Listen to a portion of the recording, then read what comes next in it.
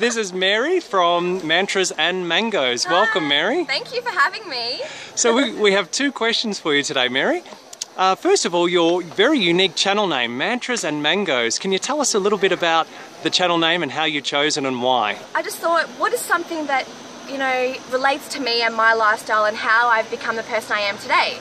So I thought, well, I used to read a lot of mantras and do a lot of meditating and a lot of yoga. So the first thing I would say in the morning was a mantra to myself. I would pick something, not even like a mantra, just be like an affirmation.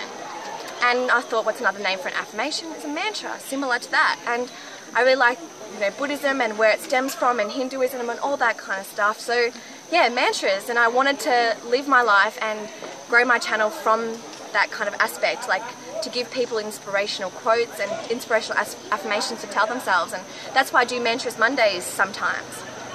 And also mangoes, who doesn't love mangoes? And I was just like, oh, it's my favorite fruit.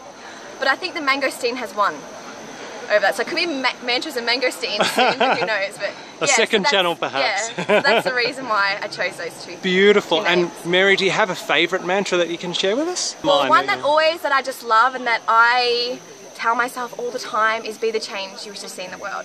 And I say that, I go, okay, today I feel really negative, but do I want to be negative? Because if I be negative, then the world around me will be negative. Because the vibrations, like, you know, the world works on vibrations, and if I send that vibration out, it's gonna just not gonna be the change that I want to see. Absolutely. So, yeah, Absolutely. that's probably my favourite one. Thank you so much. And our second question for you you mentioned in your About section on your YouTube channel page that you've struggled with years of uh, eating disorders and that this high carb, low fat vegan lifestyle has helped you overcome that disorder. Can you tell us a little bit about your journey? Okay, so first I was a mess. I was literally you know, crippled with anxiety and depression and I didn't know where my life was going. I thought that my eating disorder had won. I thought that this was my life from now. And it was either going to end shortly because I couldn't handle it or I was just going to live a very miserable life. And I didn't want that anymore.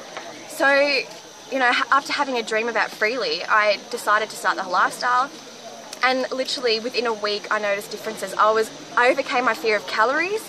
Like I was so scared that it was calories in, calories out that make me fat, it all counts. But not all calories are equal and I loved learning about that and loved learning about the nutrition behind, you know, the high carb vegan lifestyle.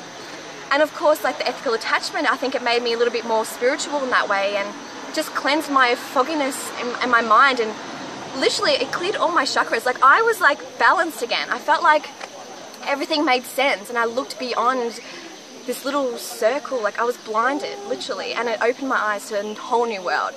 And another thing, it really helps with like making you happy. It made me happy, like it released so many like endorphins or serotonin or something, and just energetic, and it was like electricity going through my body. And I just thought, how could, how come the whole world isn't on this lifestyle? It just amazes me. So yeah, that's how it's helped me. It just made me a positive person. It's made me you know, become conscious of like things around me, like animals, they're sentient beings, and just the fact not to be afraid of food, that it's here to nourish you, and yeah, it's just literally changed my life in so many ways.